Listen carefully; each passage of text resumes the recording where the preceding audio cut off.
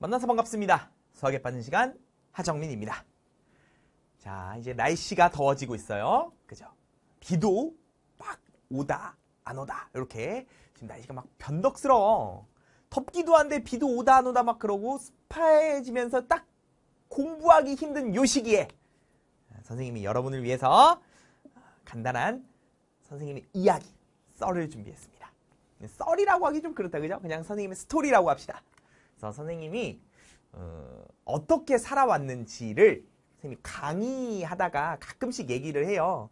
근데 거기서 내가 다 이야기하지 않고 선생님이 캐스트로 남겨줄게라고 항상 이야기하거든. 그래서 아마 강의를 듣는 학생들, 쌤 강의를 듣는 학생들은 아, 언제 올라오나 이렇게 기다리고 있었을 겁니다. 오늘 이렇게 공부하기 힘든 날씨에 아 공부하기 싫은데 요때 간단하게 캐스트 보면서 여러분이 어, 선생님 좀 스토리도 좀 듣고 또 깨달음이 있어요 여기에 교훈이 있다고요. 이 교훈도 얻어가면서 조금 더 마음을 다잡아보자 라는 의미로 캐스트를 준비했습니다. 뭐냐? 선생님 꿈에 대한 얘기예요. 나의 꿈은 하정민 쌤의 꿈은 땡땡땡이었다. 요요 뒤로 가지 말고 맞춰보세요. 바로 그 댓글로 써봐. 추론하기. 뭐였을까요? 내 꿈은 요리사였다? 아닙니다. 요리를 나중에 좋아하게 됐어요. 그것도 아니고 먹방 유튜브였다? 그것도 아니에요. 물론 잘 먹습니다. 선생님 또 먹방 안 하나요? 라는 그 캐스트 댓글이 되게 많아요. 커밍순. 알겠죠? 어쨌든 꿈은 뭐였을까요? 여러분 절대 생각하지 못해요.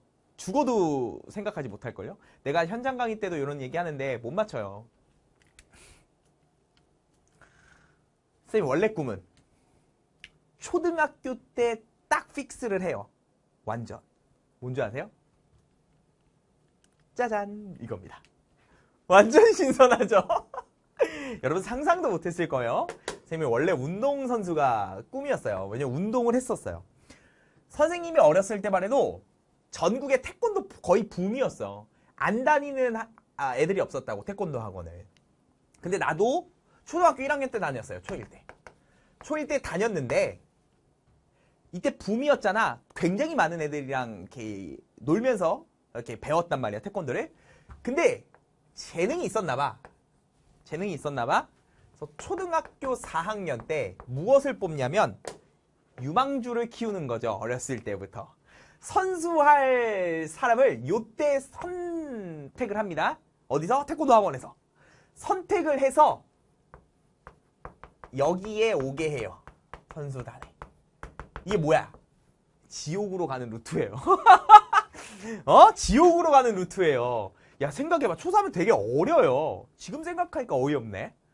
굉장히 어린 나이에 어, 요, 요 녀석 키우면 될 것 같다. 이렇게, 이렇게 찝어요. 내가 찝혔어요. 아무나 찝는 거 아니야. 나 잘했어. 찝어서 이제 눈 여겨보고 있다가 5학년, 6학년을 제대로 선수 생활을 하는 거예요. 요때 이제 유망주로 찍혔다가 계속 보아요. 보다가 어 너 이제 선수단 해라고 설득을 하고 부모님을 설득을 해요. 그래서 이제 5학년, 6학년 때 선수단에 딱 들어와서 따로 훈련을 받는 겁니다. 그러다 보니까 내 재능이 좀 있었나 봐. 그래서 5학년, 6학년 되었을 때 이 선수단에 들어가서 우리들끼리 이렇게 5학년, 6학년끼리 딱 놓고 이때는 위계 질서가 운동하는 사람은 알겠지만 위계 질서가 굉장히 중요해요. 5학년, 6학년의 이 깍듯함이 남달랐다고. 뭐 이제 막 들어온 쫄, 쫄, 쫄따구죠? 어, 쫄따구가 가서 같이 이제 형들과 누나들과 친구들과 열심히 훈련을 받아요. 근데 방학 되면 있잖아? 내가 얼마나 힘든 시간을 보냈는지 너하는 애한테 알려줄게.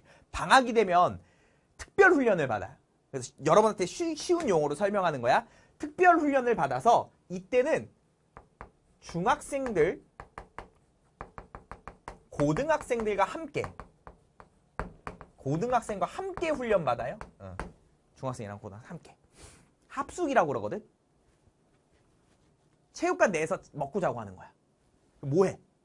먹고 운동하고 먹고 운동하고 자고 운동하고 계속 그걸 반복해요. 방학 동안. 이거를 근데 같이 하니까 얼마나 힘든지 아니? 이거 진짜 힘들어요. 심지어는 여담 중학교 1학년 때 중학교 1학년 그러니까 고, 아, 아, 초등학교에서 중학교로 넘어가는 그 겨울 방학 있죠. 여러분은 그때 공부했죠. 나는 새벽에 운동 나가서 새벽 운동했어. 엄마가 도시락 싸주고 그럼 새벽 한 5시에 도시락 들고 나가가지고 중학교 아니면 고등학교에 가서 아침부터 운동장 한 10바퀴씩 돌고 이제 운동을 시작하는 거야. 미친 듯이 했어요. 그러고 이제 아침밥 먹고 또 체육관 가서 운동하고 거기 어디야? 중학교 체육관이죠? 그런데 운동하고 막 이랬다고. 얼마나 힘들었는지 알겠니? 그렇게 어린 나이부터 선생님은 운동을 하고 있었는데 이때 시합을 나가요. 태권도 시합. 이 태권도 시합에 나가서 메달을 따고 막 이런 거는 그 메달에 따라서 이제 태권도에 좀 특화돼 있는 중학교를 가고 막 이러는 거였어. 그래서 선생님이 언제 꿈이 좀 이렇게 탁 왔냐면 6학년 때 나의 꿈은 이거야 라고 확정을 지었어요. 그게 뭐였냐면 국가대표 아니에요? 아 이건 너무 단순해요. 이건 그냥 운동하는 사람이 누구나 할 수 있는 꿈이잖아. 나는 꿈이 명확했어요. 뭐였냐? 이거였어요. 진심으로 나는 애들한테 말했거든. 태권도 국가대표 돼서 올림픽 나갈 거야. 근데 그게 목표가 아니라 금메달 따고 금메달 따면은 돈 나온다고 이제 한 달마다 매일 매, 아, 매, 매달 매달 돈이 나온다는 걸 들어서 와 그럼 금메달 따면은 평생 먹고 놀아도 되겠네. 그 군대 안 간대. 내가 너무 가기 싫었거든 군대를. 그래서 내가 구, 뭐야 메달 따고 군대 안 가야겠다 이걸로 진짜 진심으로. 그리고 대, 나는 그래서 열심히 해서 대학교도 어디 가야지라고 정했어요. 나는 경희대 태권도 학과를 가려고 그랬어. 완전 난 목표가 있었어. 원래는 용인대가 제일 유명하거든. 근데 남들 다 용인대 용인대 하니까 좀 멋없어 보이는 거야. 그래서 나는 여기 가야지. 왠지 멋있잖아. 그잖아. 그래서 여러분 실제로 그냥 공부로도 가기 힘든 학교잖아. 멋있잖아. 가야지 이렇게. 그래서 6, 5, 6학년 때쯤이었을 거예요. 완전 딱 픽스하고 열심히 운동을 했어요. 그런데 다쳤습니다. 정확히 기억하는데 6학년 때 선생님이 오른쪽 엄지발가락에 금이 갔어. 근데 자주 다치긴 해요, 원래 운동하다 보면. 근데 금 가거나 부러지면 생각보다 그 깁스라고 하죠. 깁스하고 있는 시간도 오래 걸리고 회복하는데 시간이 좀 걸려요. 그래서 내가 금이 가서 쉬었어요. 쉰데 그냥 노는 게 아니라 쉬면 뭐 하는 줄 알아? 운동할 때 쩔뚝거리면서 간단하게 뭐 그 주변 정리하고 물 떠다 주고 막 이러는 이런 걸 해요. 깁스 하면서 간단한 스트레칭하고 안 나오지 않아요. 나와서. 근데 부상을 했어. 이게 이게 이, 이것 때문에 망했지 뭐. 왜? 선생님 보면 알겠지만 생각보다 좀 잘 먹어요. 선생님 생각보다 잘 먹어. 원래는 잘 먹지만 운동을 해서 살이 안 찌었던 거였어. 부상을 하면 운동을 안 하잖아? 이때 뭐로 진화합니까? 돼지로 진화해요. 내가 돼지가 돼요. 진짜 살이 많이 찌는 거야. 한 6개월 동안 운동을 못했어요. 발이 다쳐 안 나와가지고. 와, 살이 그냥 쭉쭉 찌는 거야. 쭉쭉. 얼굴 땡땡해지고. 지금도 스님이 살이 좀 쪘거든, 옛날보다. 막 불어나는 거야. 그러니까 내가 운동 안 하면 이게 돼지가 돼요. 그럼 봐봐. 최악은 뭔 줄 알아? 이 현실. 키가 안 커. 현강을 오는 사람은 알겠지만 선생님이 키가 뭐 180, 190 이렇지 않아요. 굉장히 작고 귀엽습니다. 키가 안 크는 거야. 아빠의 유전자를 물려받았나 봐. 이런 제길. 그래서 키가 안 크다 보니까 살찌고 키 안 크죠? 내가 복귀를 했어요. 좀 시간이 지나고 그럼 얘들아 이게 시합 나간다 그랬잖아요. 이 시합을 나갈 때 그그 그 뭐죠? 몸 그러니까 마른 사람과 뚱뚱한 사람과 붙지 않아요. 그죠? 당연히 뚱뚱한 사람이 한 대 치면 마른 사람은 날라가잖아. 그래서 뭘 나누냐면 급을 나눠요. 체급. 선생님은 원래 원래 5학년 때 나갔을 때만 해도 가장 마른 축에 있었어. 아니면 살짝 높거나 돼지가 되고서 한세개 체급이 더 뛴 거야. 뚝뚝뚝. 그러면 사람들이 덩치가 좋잖아? 근데 일반적으로 덩치가 좋으면 키가 크다 보고. 근데 난 키가 안 자랐어. 옆으로만 크고 위아래가 안 자랐으니까 이게 뭐가 차이가 나? 리치 차이가 나는 거예요. 시합을 하러 딱 가면 싸워야 되잖아. 싸워서 이제 발을 뻗는데 뻗기도 전에 맞는 거야 이렇게. 상대방의 다리 길이가 너무 길다 보니까 가자면 빠빠빠빠빠. 그 전에는 4강까지 갔었는데 5학년 때는 메달을 못 따고 4강까지는 갔었거든. 아 6학년 때부터는 뭐 그냥 얻어맞기만 했어요. 이런 현실로 인하여 그죠? 아, 어떻게 할까 고민이 되게 많이 되죠. 고민이 많이 됐는데 어찌 어찌 그냥 버텨서 중학교에 들어갔어요. 근데 여기서 하나의 포인트가 있어. 요 당시에 요, 요 내가 5, 6학년 요 당시에 아 이제 운동하는 학생들도 어느 정도 공부는 해야 돼라는 게 조금 있었어. 어, 운동부는 원래 공부를 안 하거든. 근데 너무 안 하면 안 돼라는 그런 게 돌아서 이, 이 학원 안에서, 태권도 학원 안에서 공부를 무료로 가르쳐 줬어요. 누구에게? 이런 선수하는 사람에게. 왠 줄 알아? 워낙 멍청해서. 진심이에요. 아, 지금은 아니고, 지금은 뭐 내가 잘 모르니까, 쌤이 다녔던 때만 해더라도, 그냥 어차피 공부가 목적이 아니기 때문에, 쌤이 공부를 진짜 못했어요. 초등학교 때. 그래서 여러분 남들 하는 연산들 있지. 선생님이 아직도 계산 실수를 하는 이유가 뭐냐면 이 초등학교 때 배웠어야 되는 연산 공부를 난 안 했어. 난 초등학교 시험이 기억이 안 나. 난 초등학교 시험 때 집에 갔어. 몰라가지고 그냥 그리고 초등학교 때 공부한 기억이 없어. 난 뒤에서 잠을 자고 학교 끝나면 학교 앞에서 차가 기다려. 그 차 타고 운동하러 갔거든 항상. 나는 그래서 초등학교 때 공부의 기억이 없는 거야. 그런데 공부를 해야 된대잖아. 워낙 멍청하니까 요 학원 안에 보습 학원이 있었어요. 태권도 학원 안에 보습 학원이라고 있어서 요때 수학쌤이랑 영어쌤이 계셨어요. 그쵸? 그래서 우리 모두를 이 중학생들도 다 고등학생들도 다 이 선생님들한테 모두 다 공부를 배웠어. 그래서 내가 초등학교 6학년에서 요 중학교로 넘어가는 요 시기에 중학교 수학이랑 중학교 영어를 배웠어. 응. 근데 여기서 내가 하나도 모르잖아. 하나도 잘 모르는데 연산도 잘 안 되고 이러는데 이 두 선생님이 너무 잘 가르쳐 주는 거야. 생각보다 재밌었어. 생각보다. 이 뚱뚱한 현실과 키가 안 크는 요 현실에 생각보다 재밌는 걸 찾은 거야. 어? 그래서 선생님 이거 되게 잘 따라왔어요. 모르는 것들 막 물어보고 이렇게 해가지고. 그러니까 목표는 뭐야? 목표는 운동이 목표인데 내가 딴 거에 지금 눈이 조금 돌아간 거야. 그래서 내 아직도 기억나는데 중학교 첫 시험 때 이거 하나하나씩 틀렸어. 운동했던 사람이 이거 하나 틀려서 나 대박 인기 스타. 이 형 누나들이 엄청 놀래고 얘 뭐냐 이러고. 여태까지 운동하는 사람 중에 공부 잘하는 학생이 없었으니까. 그래서 선생님이 이때 오 수학 영어가 재밌는 거구나. 근데 영어는 잘할 수밖에 없는 게 뭐냐면 이거 외워 암기. 단어 암기 하나라도 틀리면 맞고 이랬어요 이게 되게 선생님들 나쁜 게 뭐냐면 영어 쌤이 되게 나쁜 게 선수단 하는 사람들은 많이 맞아요 여러분 초등학교 때 강목으로 맞아봤어요? 강목으로 그 관장님한테 강목으로 우리 맞고 그랬어. 진짜. 초등학생이 내가 중학교 1학년 때 여담이지만 고, 중학교 1학년 때 중3 선배들이 우리 똑바로 안 한다고 강당에 끌, 끌려가가지고 그냥 맞았어. 그냥! 우리 샌드백인 줄 알았다니까? 그냥 맞았어, 막. 갑자기 열받네. 지금은 그럴 수 없지만, 어쨌든, 우리는 맞는 게 일상이니까 영어 쌤도 우리 안에 오면 그냥 막 때렸어. 여자 쌤인데 그냥 몽둥 hil고 막 때렸어. 우리 손바닥, 발바닥 막 이런데. 뭐 얼굴 때리고 이런 건 아니에요. 그러니까 어쩔 수 없이 막 도끼를 가지고 막 한 거지. 막 그래서 지문을 그냥 그냥 그냥 막 깜지 쓰듯이 막 써가면서 외웠거든.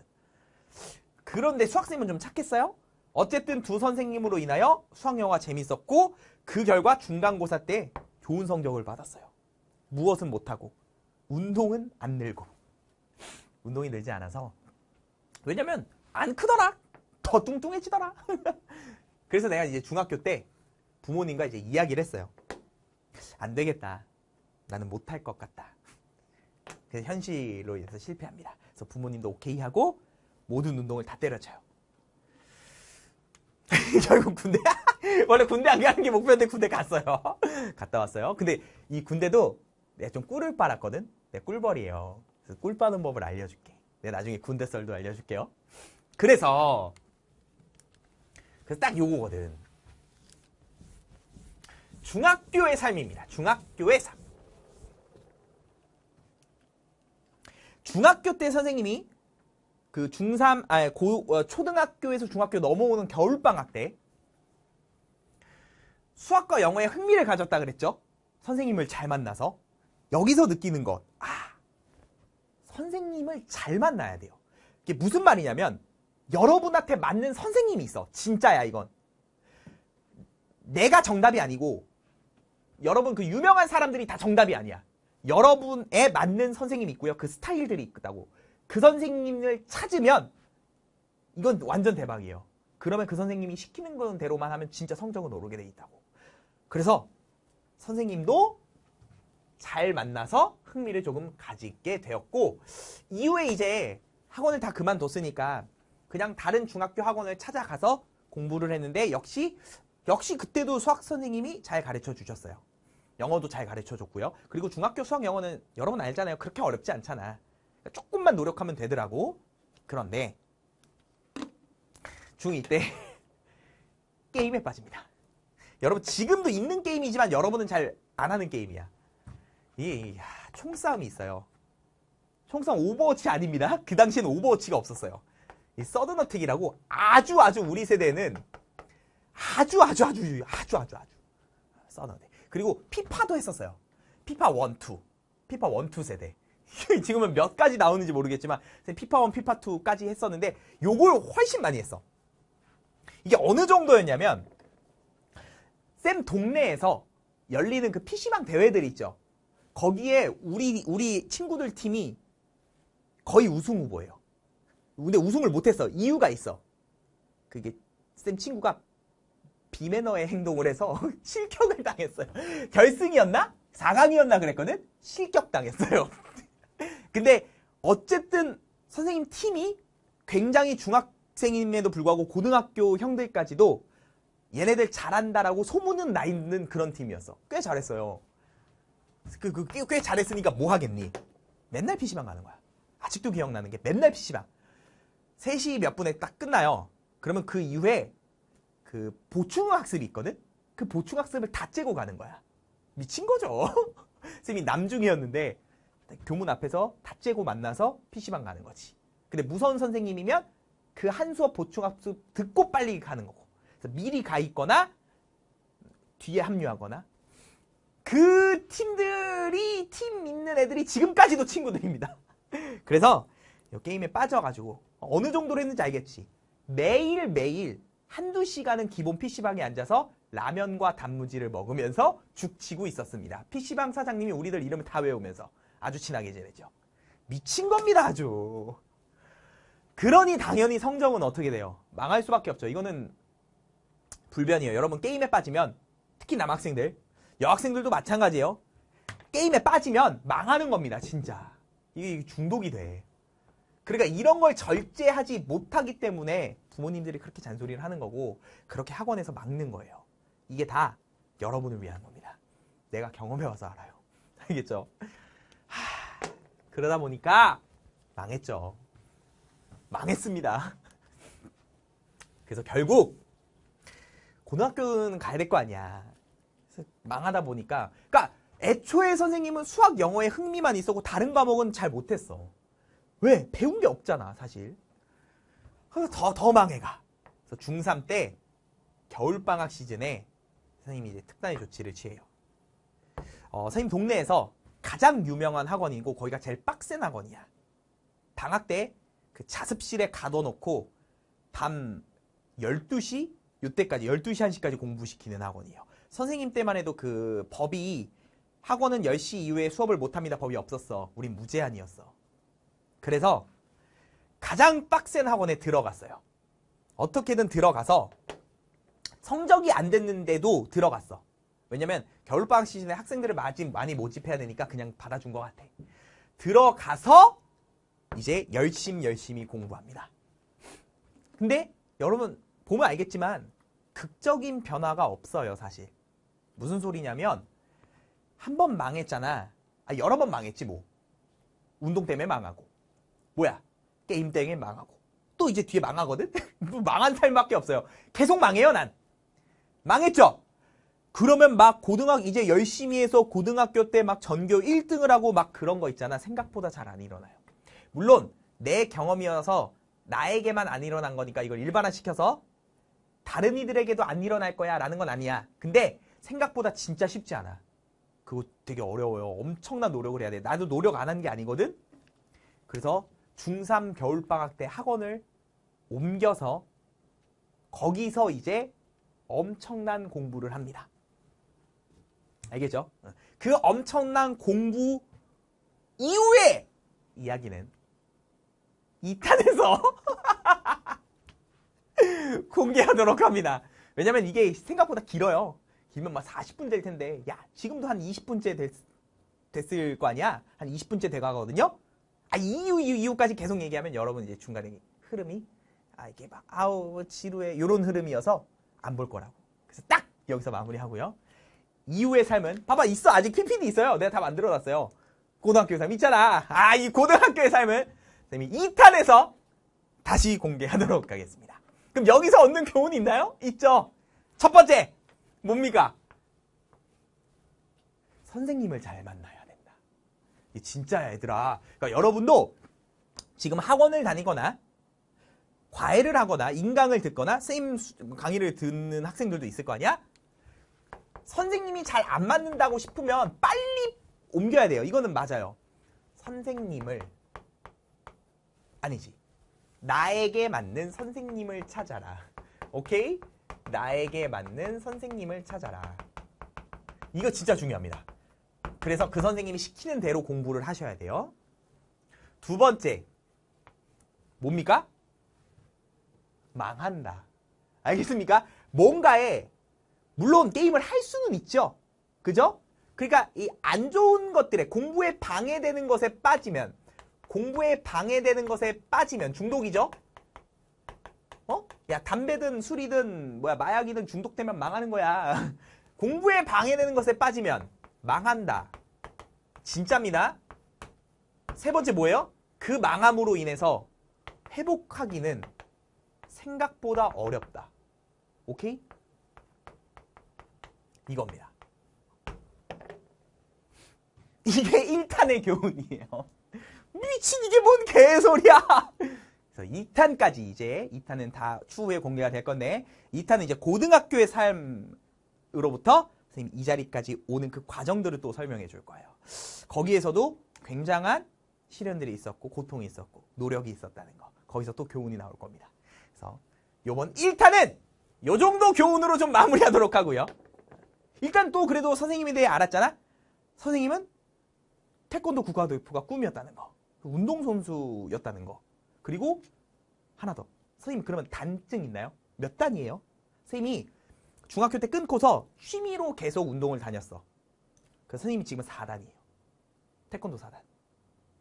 돌려차기 막 할 수 있어요. 또 까불면 죽어 아주 그냥. 어, 숙제 안 하고 공부 안 하면 내가 찾아가서 그냥 팍. 알겠죠? 어.